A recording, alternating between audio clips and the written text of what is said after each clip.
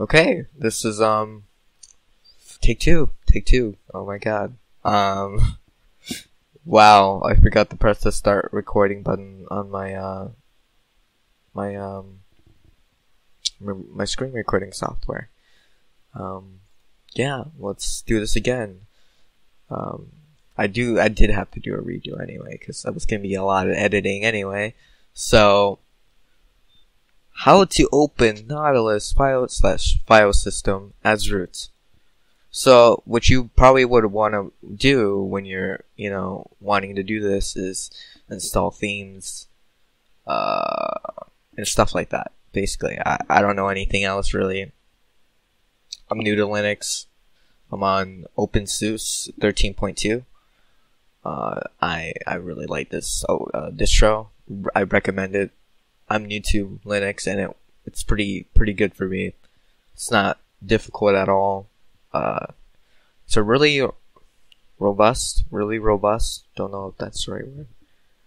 It's pretty nice. It's it's really compact. It's really you know straight out, straight out the box. Um, enough of that. Um, yeah, let's get to it.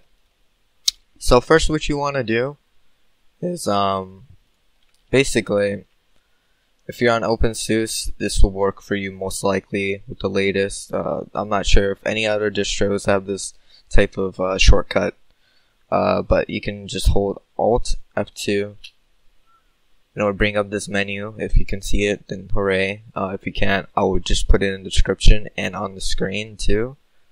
Because it'll probably just show, show like something black or I would just put some text over it.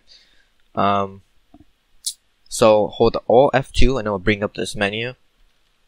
And you want to type in gnome mezu mezu god Japanese uh Nautilus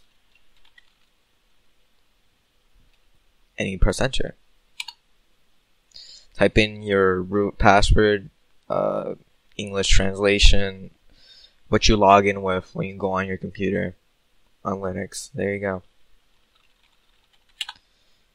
um, yeah, and you just get this menu right here, and you go to computer. Uh, yeah, so that's it. So thank you for watching, and uh, bye.